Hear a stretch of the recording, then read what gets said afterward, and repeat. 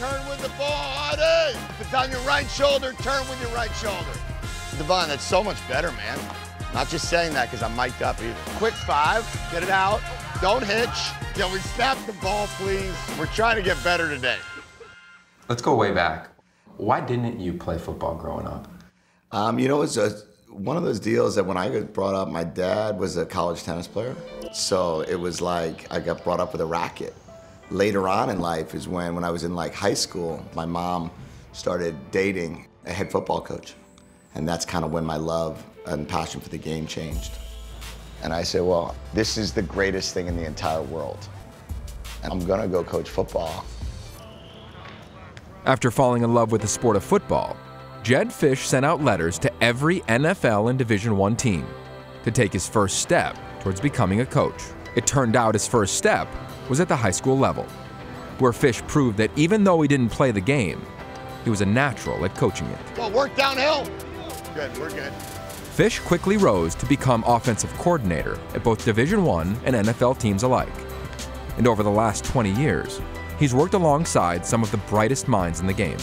I'm gonna tell you what, when you work for Brian Billick and Pete Carroll, Mike Shanahan, and Jim Harbaugh and Dom Capers, there's not a lot that Jim Mora is gonna be able to tell you. That's just the facts.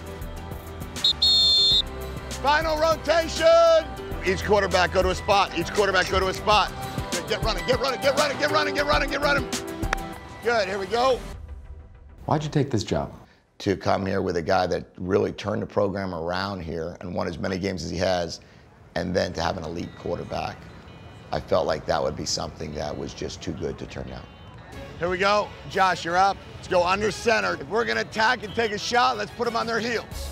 Put them on their heels. Let's do it again. Let's do it again. There's this old quote that says, uh, when the student is ready, the teacher will appear. Do you think that the timing just kind of meshed beautifully? Yeah, I mean, uh, it's it's like a two-way street in terms of we're trying to learn as much as we can about each other. And the idea is to kind of bring an offensive coordinator onto the field, and that's why I'm trying to kind of delve into um, his knowledge. Josh, Josh, more urgency. Good.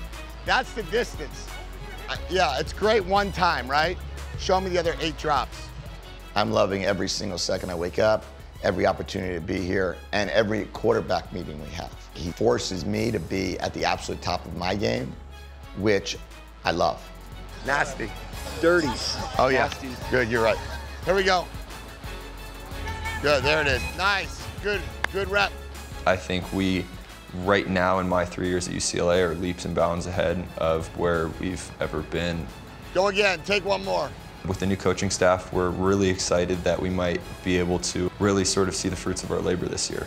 We're going to run them until everybody catches. Now, go, go, go. Having someone like Jedd, the offense is in great hands. I'm lucky. He's really good.